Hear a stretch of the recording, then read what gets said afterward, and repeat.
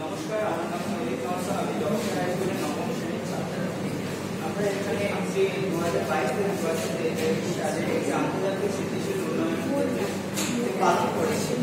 আমরা এখানে একটি আদর্শ গ্রাম গড়ে তুলতে চাই যেটি আমাদের অপ্রচলিত শক্তি আমরা কিছু মডেল তৈরি করেছি যেগুলি যেগুলি একটি আদর্শ গ্রাম গড়ে তুলতে সাহায্য করবে প্রথমে আমাদের রয়েছে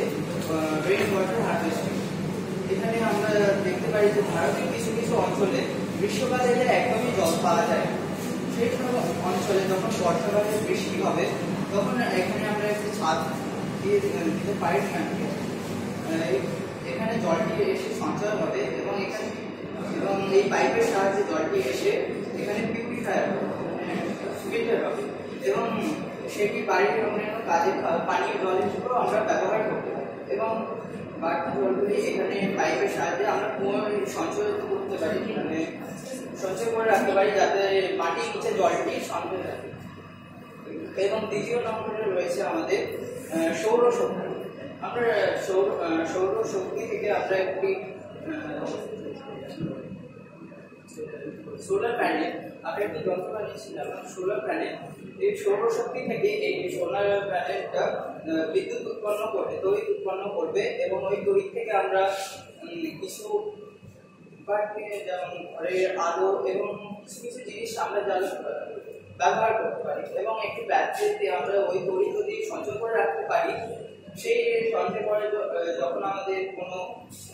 বিদ্যুৎ থাকবে না থাকবে না, সেই ব্যাটারির সাহায্যে আমরা তড়িৎ ব্যবহার করতে পারব।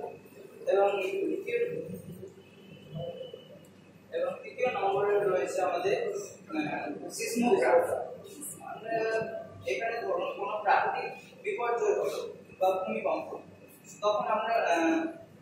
তখন তখন আমরা জানতে পারব এই সিসমোগ্রাফের সাহায্যে মানে এই যে তার ব্যবহার করা হচ্ছে, এবং এটি নড়লে ভূমিকম্প হলে এই তারটি নড়ে ওঠে এবং এই বাজার শহর তাতে আমরা জানতে পারব যে এখানে কিছু একটু হচ্ছে প্রাকৃতিক বিপর্যয় এবং আমরা জানি যে আহ, জানি যে আমরা বাড়িতে থাকা উচিত নয়। সেই সমস্ত জিনিস থেকে আমরা এই আয়োজনটা লাগিয়েছি যাতে আমরা বুঝতে পারি যে বুঝতে পারি যে এবং এখানে দেখানো হয়েছে যে একটি গ্রাফ একটি বল দেওয়ার বল নেওয়া